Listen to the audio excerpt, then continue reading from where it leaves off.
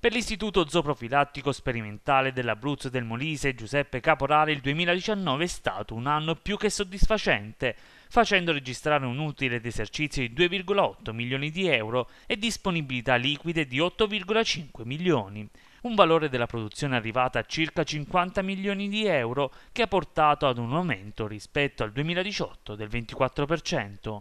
La crescita è stata determinata anzi quasi esclusivamente dalla, dalla, capacità di vincere progetti partendo dalla regione Abruzzo arrivando poi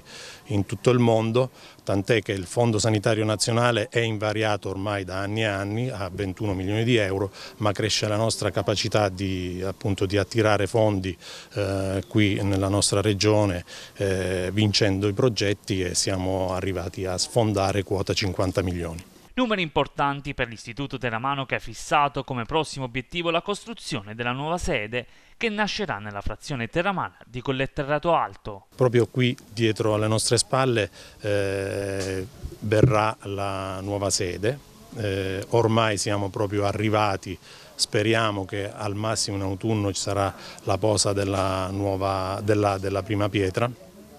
e questo è parte degli investimenti, ma grande, grandi, investimenti facciamo, grandi investimenti li facciamo in termini di tecnologia,